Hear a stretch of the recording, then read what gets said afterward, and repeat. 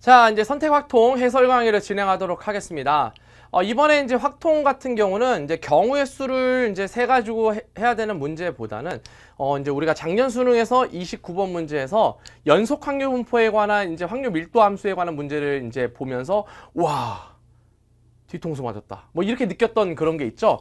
그 문제가 이제 비슷하게 출제가 됐었어요. 그리고 이제 30번은 역시 이제 조건부 확률에 관한 문제인데 역시 조건부 확률은 뭐뭐뭐뭐 일대에서 딱 끊어가지고 그 앞에 있는 경우의 수와 그 뒤에 있는 경우의 수를 찾는 건데 이거는 사실 경우의 수라기보다는 확률을 가지고 문제를 풀어야 되는 그런 유형이라고 생각을 하시면 될 것 같습니다. 어쨌든 한 번씩 23번부터 하나씩 차근차근 풀면서 이제 어떤 개념들이 적용이 되고 어떻게 풀어나가는지를 한번 소개해 드리도록 하겠습니다. 자, 가보도록 합니다. 자, 23번 가볼게요. 자, 지금 4x 더하기 1의 6제곱 요 놈의 전개식에서 x의 계수야. 자, 그러면 우리 이항정리에서 첫 번째 일반항 갑니다. 얘가 6이니까 6 combination R에 그냥 이놈의 4x 전체의 r제곱이다 라고 생각을 하시면 되겠습니다. 자 그러면 이거 전개하시면 6 combination r에 4의 r제곱에 x의 r제곱 자 우리는 누굴 찾는 거야? x의 1제곱의 개수를 찾는 거기 때문에 r 대신에 1을 대입하시면 됩니다. 그럼 6 컨비네이션 1 곱하기 4의 1제곱이니까 그 개수는 24 이렇게 찾아주시면 되겠네. 그죠? 정답은 24였고 그 다음에 24번 문제는 이항분포에 관한 내용이죠. 이항분포의 평균과 분산 거기다가 이제 함수적 특징까지 여러분들이 잡아주셔야 될 내용입니다. 자, 이항분포 n 3분의 1이라는 얘기는 시행 횟수가 n회고 그 다음에 그것이 나올 확률이 3분의 1이라는 내용입니다. 그게 이제 확률 변수가 x일 때 어떻게 되냐?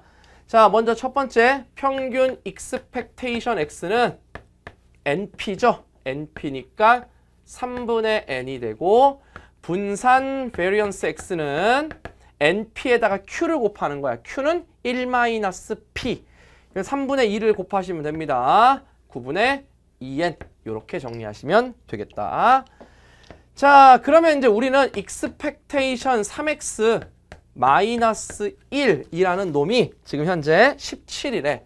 그럼 우리가 3x 마이너스 1에 대한 함수적 특징은 바깥으로 튀어나가서 3의 expectation x 마이너스 1 이렇게 표현이 되므로 그 값이 17입니다.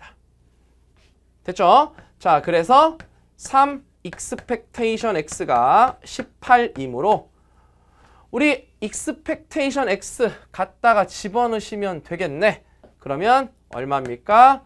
어, n이 18이 되겠네. 음, n이 18이야. 그때 뭐 찾는 거니? 우리 vx를 찾는 겁니다. 자, 두 번째 vx는 3분의 2n이라 그랬지? 3분의 2 곱하기 n 18. 그래서 정답은 12 이렇게 찾아주시면 돼. 뭐 크게 어려움 없이 여러분들이 분산을 구할 수 있었다라는 거. 아유 안 넘어간다. 자, 그 다음에 문제 25번 갑니다. 이 선택 확통이 아, 네, 그 얘기도 해줘야겠네. 어저께 이제 기사를 봤는데 여러분들 어저께 평가원에서 어, 그 전체 6평에 대한 성적 분포 곡선하고 그리고 이제 점수 표준 점수 몇 점인지 나, 나왔죠.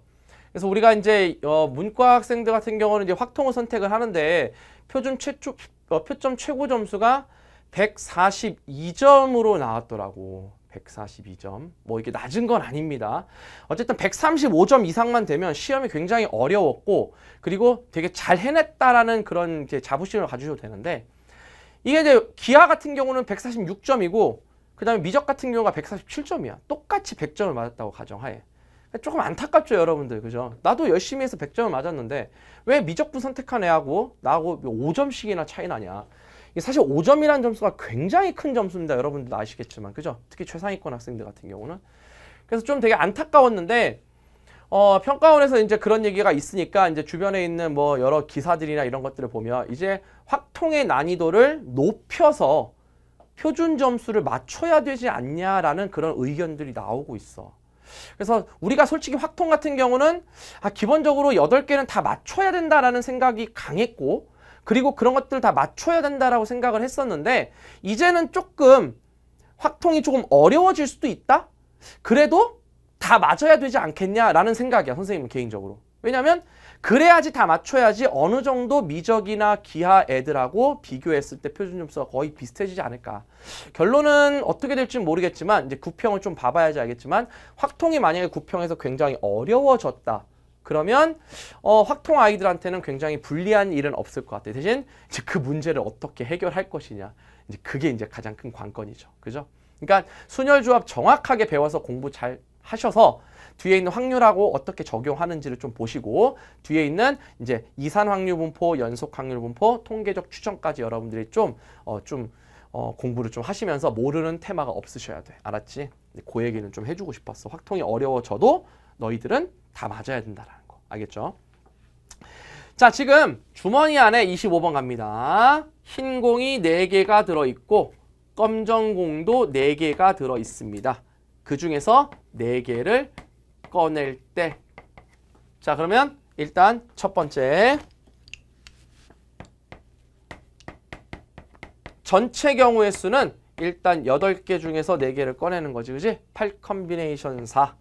뭐, 요 정도는 계산하고 갑시다. 70.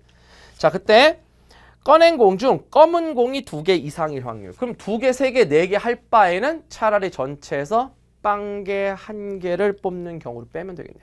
얘는 여사건으로 가시면 됩니다. 자, 여사건은 검은 공이 검은 공이 빵개인 경우와 검은 공이 한 개인 경우로 나누셔야 돼. 검은 공이 빵 개면 네 개 중에 네 개가 다 흰 개면 흰 거면 되겠네. 한 가지. 검은 공이 한 개면 네 개 중에 하나가 검은 공이고 네 개 중에 세 개가 흰 공이니까 16가지가 될 겁니다. 그죠? 그래서 우리가 찾는 정답은 1-70분의 17이 돼서 정답은 70분의 53 이렇게 갖고 가시면 되겠습니다. 됐죠? 정답은 그래서 3번 그 다음 26번 이건 참 예전에 많이 나왔던 문제야. 그죠? A, B, C 중에서 모든 문자가 한 개 이상씩 포함이 되도록 중복 허락하여 다섯 개 택해 일렬로 나요. 중복 허락하여 다섯 개 택해 일렬로 나요. 중복 순열이야. 근데 어쨌든 일렬로 나열이기 때문에 같은 것이 있는 순열이 될 거예요. 왜? 중복 허락해서 여러 개를 뽑아서 나열하는 거니까. 자, 그럼 이제 이거는 어떻게 되냐? 첫 번째, 총 다섯 개인데 같은 문자가 세개 A, B, C 중에서 세개짜리한개짜리한개짜리가 나오는 경우를 생각하시면 돼. 그 경우에 대표적인 게 바로 이거야. A, A, A, B, C 요걸 나열하면 돼. 근데 세 개짜리가 꼭 A여야 돼? 아니 B도 되고 C도 되잖아. 그죠? 그래서 얘는 세 가지. A가 세 개가 되는 경우, B가 세 개가 되는 경우, C가 세 개가 되는 경우 이거 나열하면 되잖아. 5팩토리얼 나누기 같은 거 세 개가 있으니까 3팩토리얼. 얘는 20이니까 총 60까지 이렇게 나오시고 두 번째는 그냥 두 개씩 두 개씩 한 개 이렇게 나오는 경우가 있어. 대표적인 경우가 A, A, B, B, C 이런 거네. 그죠? 그러면 한 개짜리가 누가 될 건지를 선택을 해야 될 거 아니야. A가 될 거, B가 될 거, C가 될 거. 그죠? 세 가지. 나열하시면 5팩토리얼 나누기 같은 거 두 개, 같은 거 두 개. 그래서 얘는 30가지가 나오니까 3, 3은 90. 이렇게 90가지가 됩니다. 그러므로 우리가 찾는 총 경우의 수는 150가지 이렇게 찾아주시면 됩니다. 그래서 뭐 결과적으로 뭐 그렇게 어렵진 않았던 그런 문제고 이제 지금 이 7월 학평을 지금 계속 보면 적어도 이제 확률과 통계까지는 되게 기본적으로 다 기출문제에 기한을 했다라고 생각을 하시면 됩니다. 그래서 뭐 맞춰야 될 것들은 당연히 다 맞춰서 여러분들이 넘어가시면 돼. 자, 넘깁니다. 27번.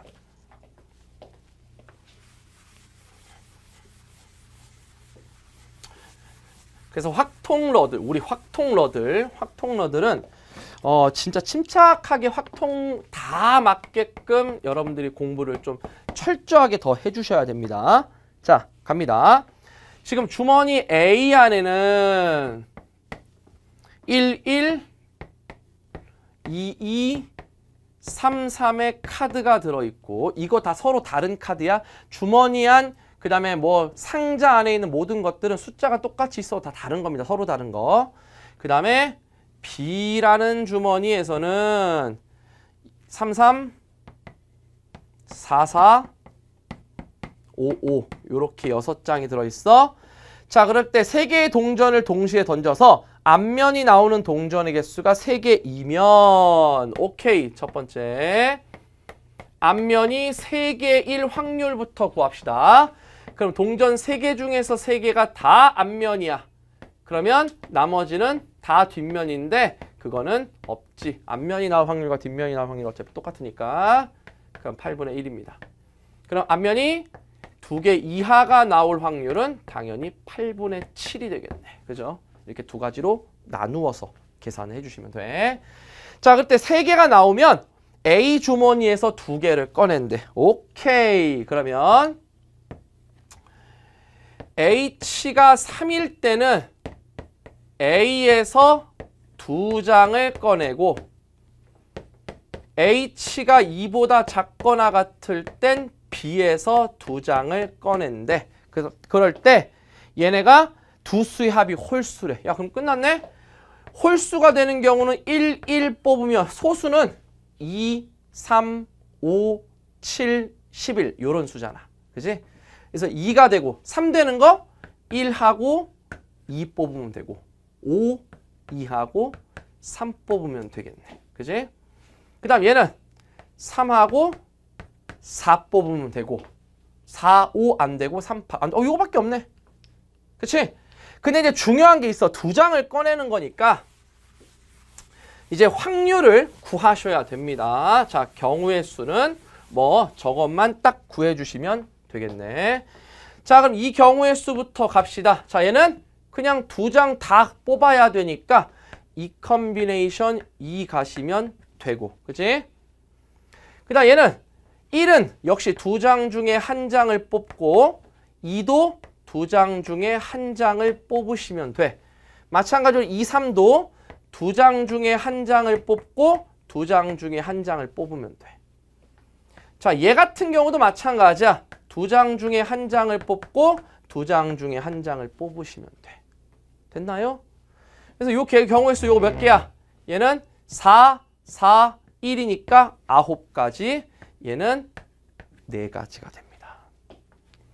자, 그래서 이제 우리가 가자. 소수가 되는 부분은 자, 일단 먼저 얘는 8분의 1일 확률이고 6 combination 2야. 6 컨비네이션 2분의 저놈은 9고 더하기 8분의 7은 6 combination 2는 15야. 15분의 4 이렇게 가시면 되겠습니다. 그 두 개 곱하면 120이네. 자, 120분의 28이고 9를 더하니까 37. 홀수 짝수니까 약분한데. 그죠? 정답은 120분의 37 이렇게 가주시면 되겠습니다.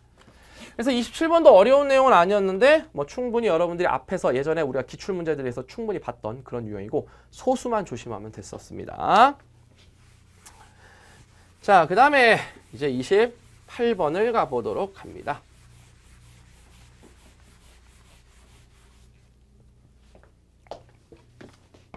역시 함수의 개수를 구하는 문제. 자, 지금 x라는 정의역은 1, 2, 3, 4, 5, 6 이렇게 나와 있고 y라는 공역은 1, 2, 3, 4, 5 이렇게 나왔습니다.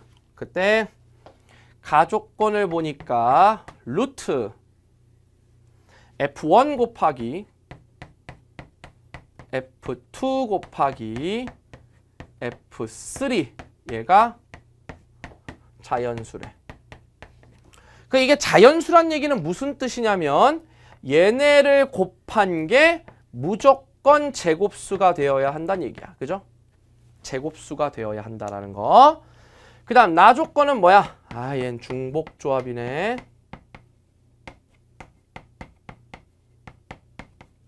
왜? x1의 값이 x2의 값보다 작으면 fx1의 값이 fx2보다 작거나 같다.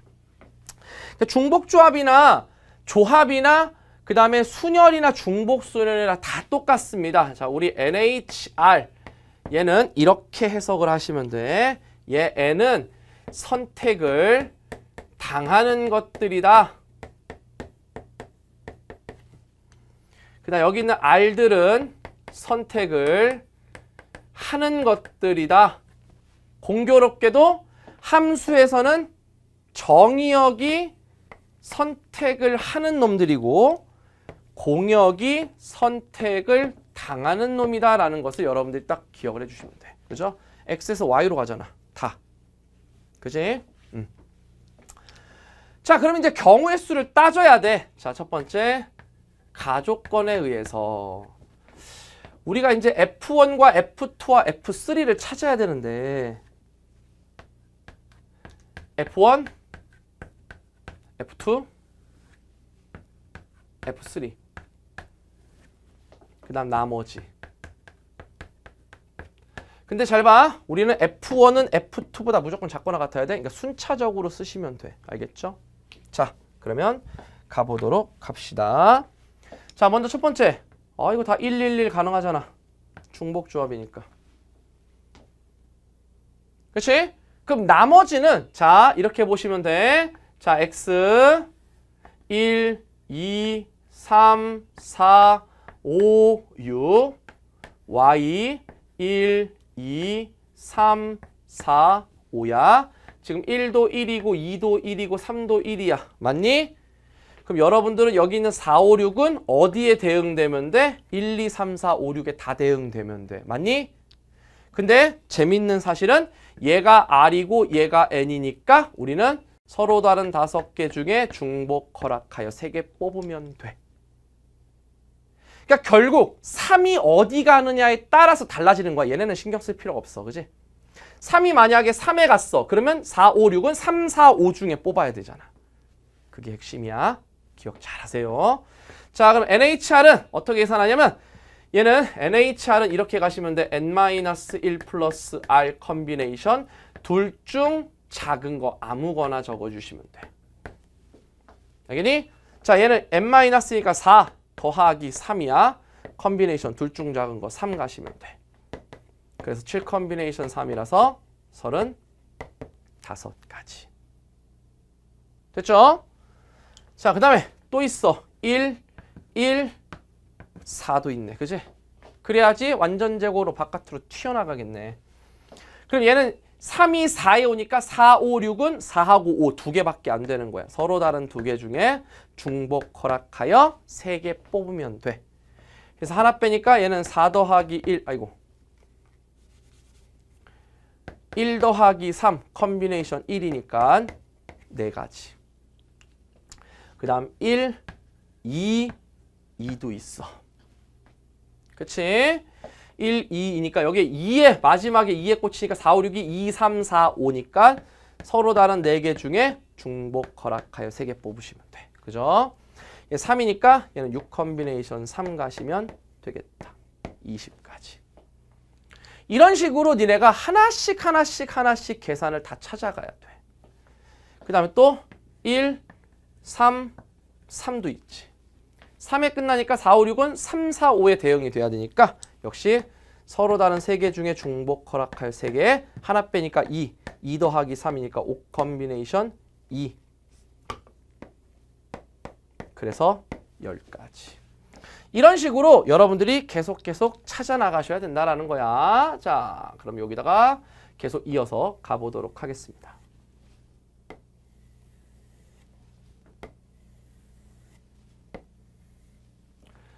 자, 여기 F1, F2, F3, 나머지 1. 자, 그 다음에 1, 3, 3까지 했어. 그 다음 또 뭐 있어? 1, 4, 4가 있겠네. 그치? 1, 4, 4. 그럼 나머지 4에 됐으니까 얘는 서로 다른 두 개 중에서 4, 5 중에서 세 개를 중복 허락하여 세개 뽑으시면 돼. 그래서 네 가지. 그 다음 1, 5, 5도 있어. 그죠? 얘는 그냥 한 가지야. 왜냐면 얘가 3이 5에 갔기 때문에 4, 5, 6은 무조건 다 5에 갈 수밖에 없는 거야. 그치? 자, 이제 끝났어. 여기에서 이제 1이 끝났고. 그 다음 이제 2 갑니다. 2, 2, 4 밖에 안 되네. 그러니까 여기에 4가 갔으니까 5, 6에 대응돼야 되니까 서로 다른 두 개 중에 중복 허락해서 3개 뽑으시면 돼. 그쵸? 그 다음 또 뭐 있어? 2, 3, 아이고 2, 3, 3이래. 2는 없으니까 3, 3, 4. 그죠? 그럼 얘도 역시 마찬가지야. 서로 다른 두 개 중에 중복 허락하여 3개 뽑으니까 역시 4가지. 이렇게 정리를 해주시면 되고 그 다음 이제 4, 4, 4가 있겠지. 그치? 음, 4, 4, 4. 그럼 얘는 4의 세제곱이니까 8, 8에 64잖아. 8의 제곱 가능하다. 그럼 얘도 역시 마찬가지로 2H3이니까 역시 네 가지. 마지막은 4, 5, 5야. 한 가지. 이렇게. 그래서 지금 우리가 찾는 거는 뭐냐면 저 모든 것을 만족시키는 함수의 개수를 찾는 거잖아. 그래서 얘 35, 얘하고 얘하고 다 더하면 돼. 얘하고 얘. 얘네들 도하면 5니까 40, 50, 70, 74. 4, 3, 12, 13이야. 그래서 총 함수의 개수는 87개가 답이 될 겁니다. 자, 이 문제는 물론 중복조합에 관한 문제이긴 했지만 실제로 여러분들이 하나씩 하나씩 하나씩 경우의 수를 나눠서 개수를 찾아내는 것을 여러분들이 해보셨어야 되는 거고 작년 수능 28번도 이런 식으로 루트 해가지고 막 하나씩 계산해서 하는 문제였었죠. 그런 식으로 여러분들이 연습을 하셔야 된다는 거 앞으로도 알겠죠? 정답은 그래서 87이었습니다. 그 다음 29번 갑니다.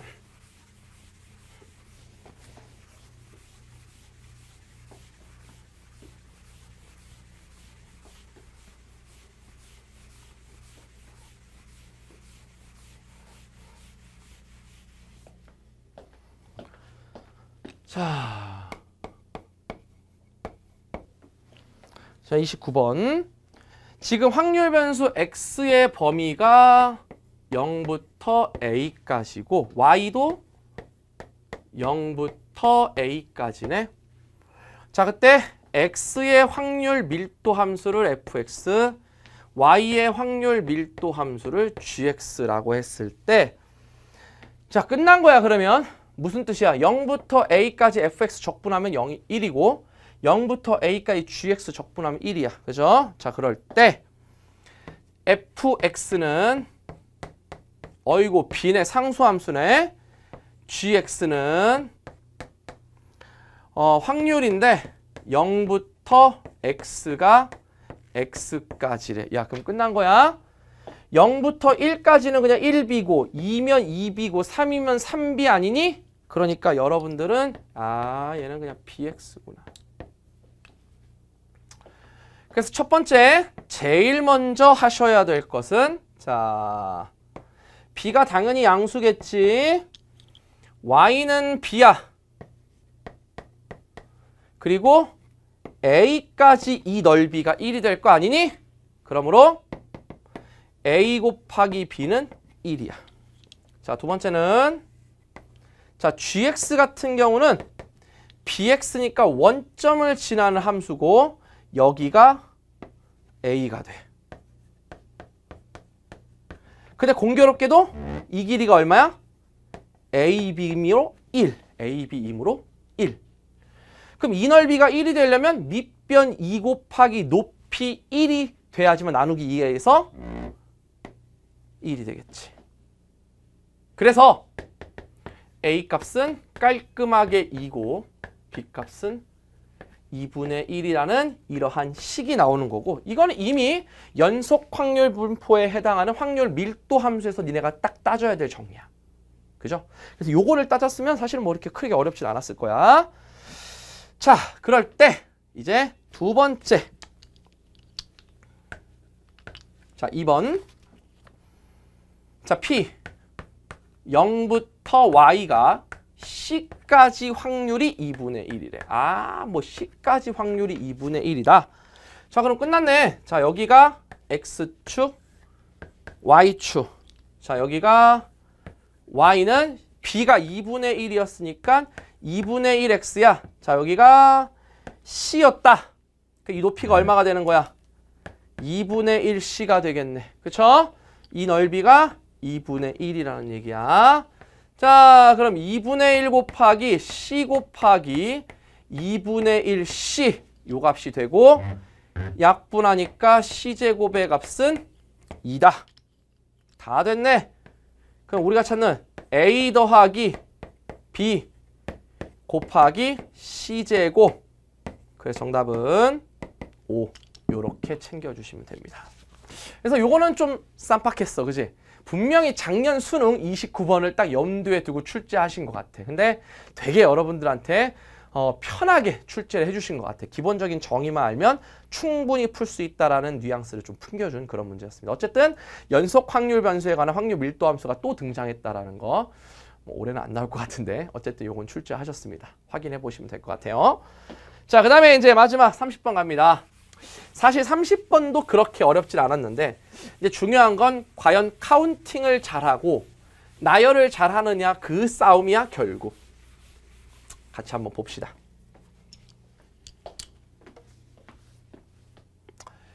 자, 30번. 자, 지금 각 면에 1, 1, 2, 2, 2, 2 얘가 적혀 있는 정육면체 상자가 있대. 얘를 6번 던질 때 슬러시. 독립사건.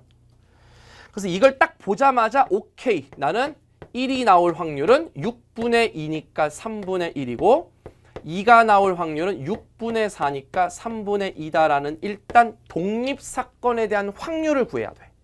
그래서 1이 나올 때인 경우와 2가 나올 때인 경우의 확률이 정확하게 다르지. 얘를 6번 반복한대. 자, 그럴 때 첫 번째 나오는 수를 A1, 두 번째는 A2, 세 번째는 A3, 점점점 A6까지 있어. 그때 문제에서 뭐냐면 뭐뭐뭐뭐일 때 슬러시 하세요. A1 더하기 A2 더하기 A3가 A4 더하기 A5 더하기 A6일 때야. 그러면 일단 이 경우부터 구해야 돼. 그치? 그거부터 구해야 돼. 자, 그럼 봐봐. 그러면 지금 경우의 수를 나눠야 돼. 너희들이. 그럼 일단 뭐 제일 작은 거부터 일단 정리를 하자. 얘 같은 경우는 어, 첫 번째, 두 번째, 세 번째가 제일 작은 건 3이 나올 수도 있지 않겠니? 그럼 얘가 4가 나오면 되고 얘가 5가 나왔을 때 3이 나오면 되고 얘가 6이 나왔을 때 3이 나오면 되고 이런 식으로 경우의 수를 다 따져가는 거야. 얘가 4가 나왔을 땐 5가 나오면 되고 6이 나왔을 때 4, 마지막 6하고 5 이런 식으로 경우의 수를 다 나눠서 계산을 해야 되는 거야. 그죠? 그럴 때 A1, A1과 A4가 다 1인 경우를 찾는 거지. 그러니까 결국 아 니네가 이 문제는 이렇게 나열을 해서 나눠야겠구나라는 걸 찾았어야 돼. A1 더하기 A2 더하기 A3가 경우의 수를 나누는 거지. A4 더하기 A5 더하기 A6로 나누어지는 경우 자 가보도록 합니다.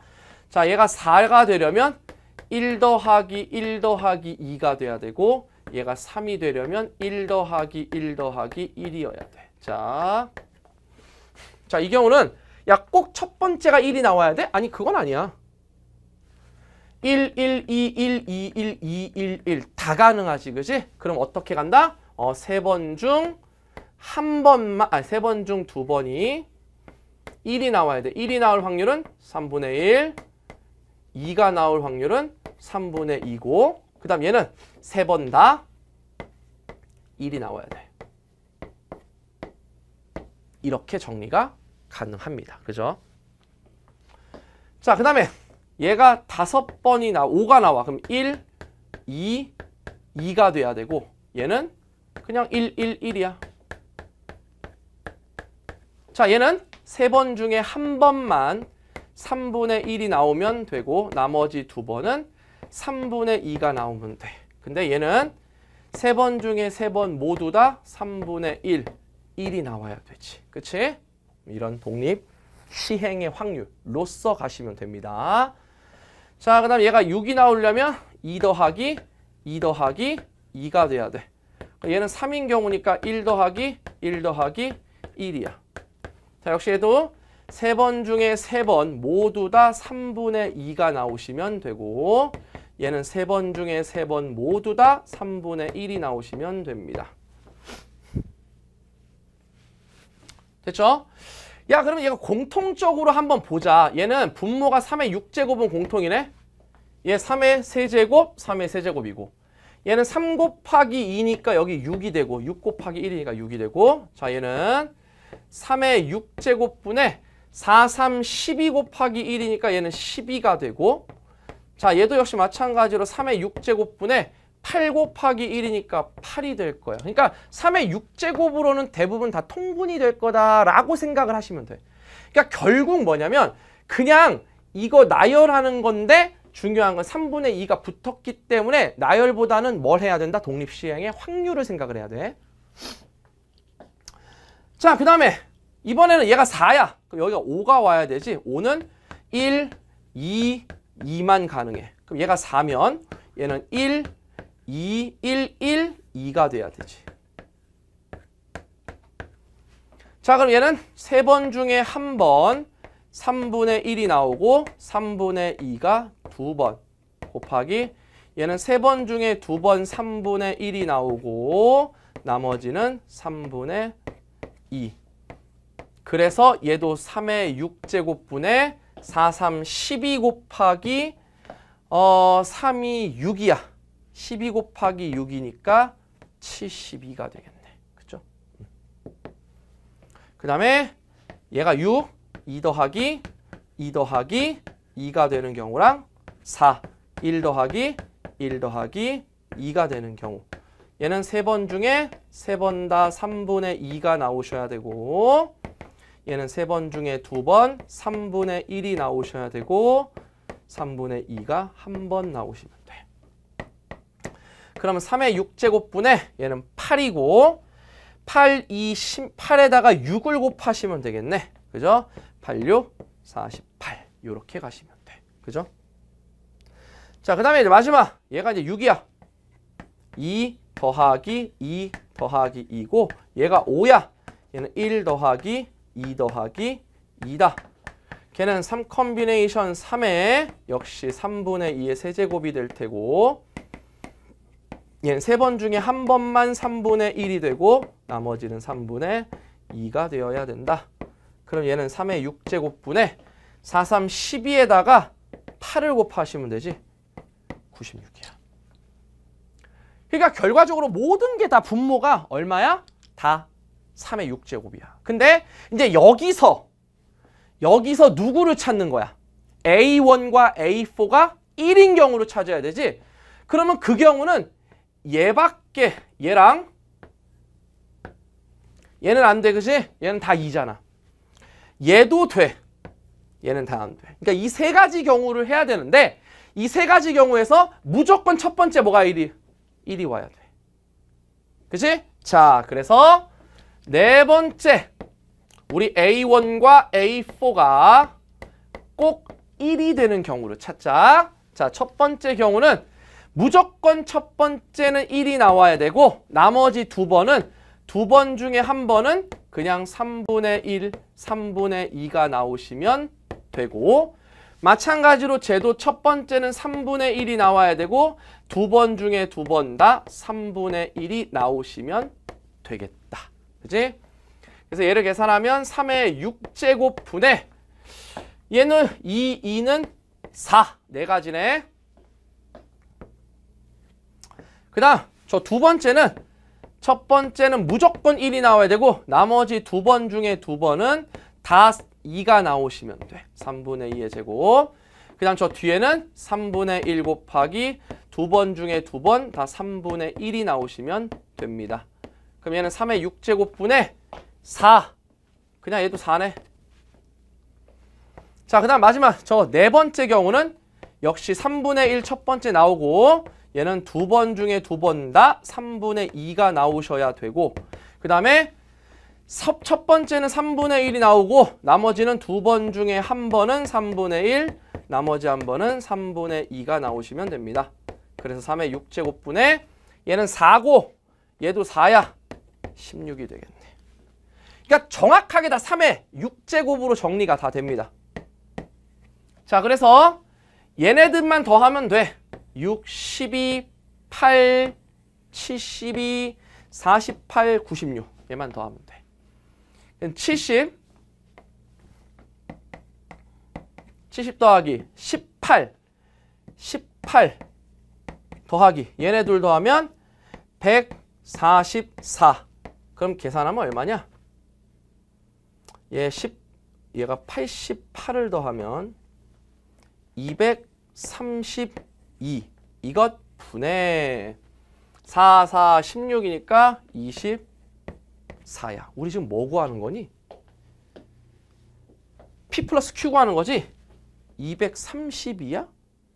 잠깐만 뭐 계산 잘못했는데 100, 아 이거 80이네 그치 어쩐지 이상하다. 계산이 이상했어. 98 그래서 242가 될 겁니다. 약분하면 돼. 2로 약분하면 121분의 12가 돼. 그래서 좀 좁지만 여기다 적을게. P 플러스 Q는 133이 될 거야. 12를 더하니까. 됐습니까? 요렇게 여러분들이 정리를 해주시면 될 것 같아. 자, 그래서 확률과 통계 해설 강의를 했는데 사실 이제 확률과 통계 같은 경우는 지금 어, 이 뒤에 있는 30번 문제도 그렇고 28번 문제도 그렇고 일일이 다 하나씩 계산하면서 여러분들이 규칙을 발견하거나 어, 독립식의 확률을 이용하는 문제가 출제가 됐었는데 기본적으로 순열에 대한 순열과 조합에 대한 명확한 이해가 돼 있지 않으면 사실 문제 풀기가 쉽지 않습니다. 그러나 그것만 명확하게 된다면 확률과 통계는 전부 다 다 8개를 다 봐줄 수 있어. 그러니까 자신감을 갖고 다시 처음부터 좀 기출문제까지 복습하면서 정리하시기 바랍니다. 지금 이 문제들 중에서 중복순열하고 원순열 이런 게 안 나왔는데 중복순열, 원순열은 안 나올 거야라는 이런 착각하지 마시고 꼭 이것도 복습하면서 정리하셔야 돼. 알겠습니까? 정말 고생 많았고 선생님은 이제 한 달 있다가 8월 31일 날 8평이라 그래야 되나 9평이라고 해야 되나 어쨌든 9월 평가원 모의고사로 돌아올 테니까 그때까지 정말 준비 잘 하셔서 그날 되게 웃는 얼굴로 보셨으면 좋겠습니다. 선생님 이제 그 8월 달에는 이 특강 강좌들 많이 올라갈 테니까 OT 확인하시면서 여러분들이 좀 도움될 만한 것들은 좀 도움을 받기 바라실게요. 알겠죠? 정말 고생 많으셨고 우리는 8월 31일 9평 모의고사에 보도록 하겠습니다. 고생 많으셨어요.